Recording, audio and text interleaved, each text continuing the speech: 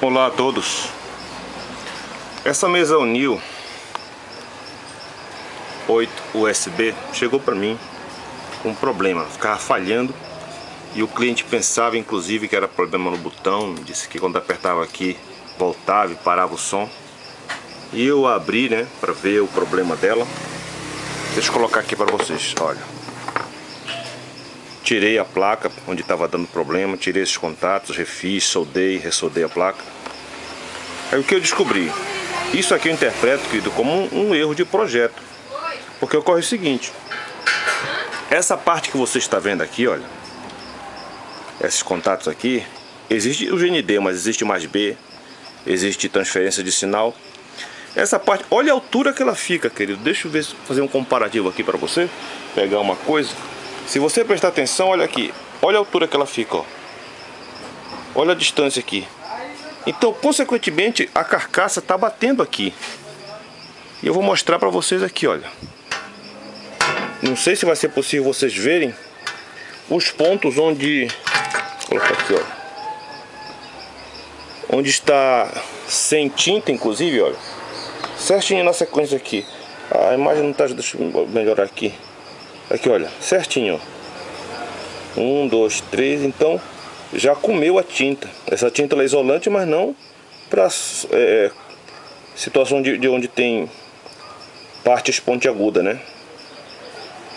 Então, olha aqui, ó. Essa aqui que tá mais nítido de todos, ó. Bem no meio da tela aí. Então tá vendo um contato daqui para lá, ó.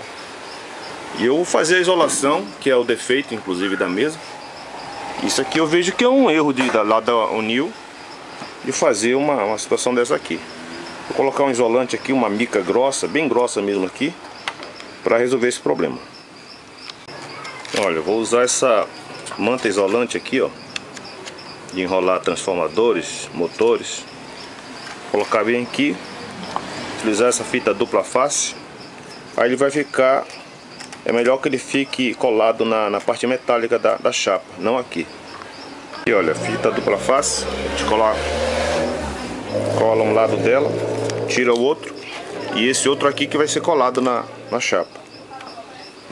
Aqui, olha, fiz a, a comparação aí para ver onde é que deveria ficar.